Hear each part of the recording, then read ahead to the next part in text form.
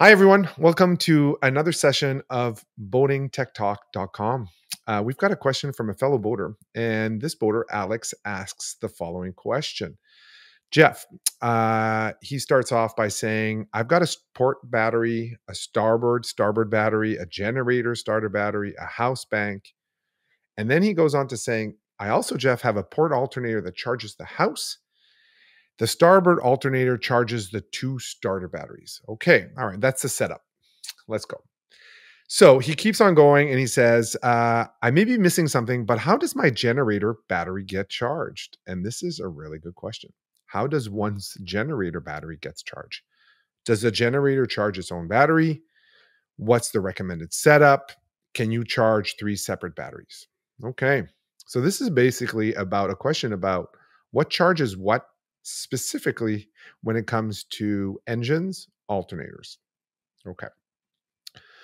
The reality is that pretty much every, uh, not, you can't ever generalize and say everything, but I haven't seen a generator that doesn't have an alternator. So I didn't want to use a blatant statement and say all generators have alternators, but pretty much all generators that I've ever seen, like pretty much all engines uh, for propulsion, have alternators.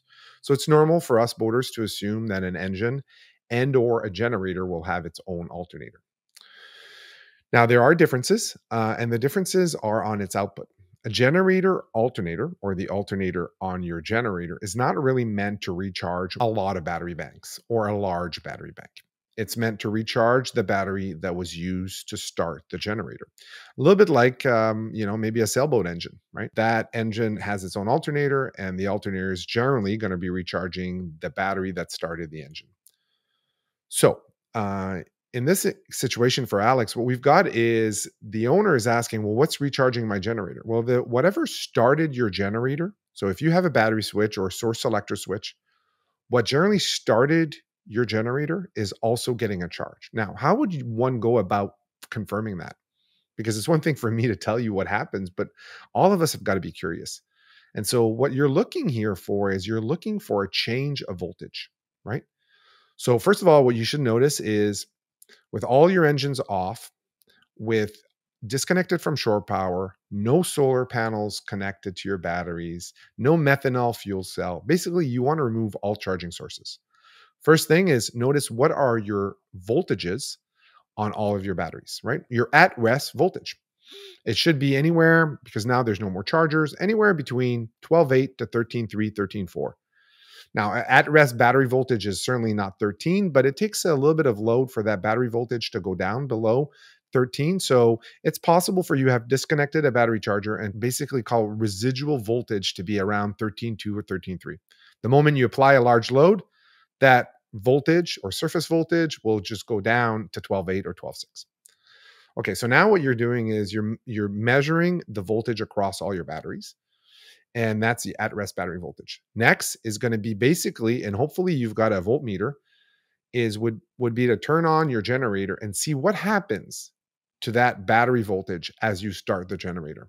You should see that starter generator starter battery voltage go down dr- drastically because why? It's starting your generator. Now, it might go down as low as 10, maybe nine and a half, might be 11, depending on the size of your generator battery, but it's going to go down from whatever it was. So, the second thing you're looking for is you're looking for a drop in voltage as you're starting the battery or the generator. And also remember, you're also, your generator might have glow plugs. So, even if you're just turning on your engine, your generator, you might be able to see you know, a drop, a little bit drop of voltage as you maybe are engaging glow plugs or however your generator uh, draws power. And then the next thing that you're looking for is once the generator starts outputting, after about a minute, you should see that battery voltage start to increase. So it might have been a 12.8 or 13.3, but now that the all the generator is running and that its alternator is running, you're going to now finally see that voltage of the battery that started your generator to start to rise. Okay, so that's the first step. Figuring out which battery does what and sort of looking at the voltage is a good way to trace and to find out what battery does what on your boat.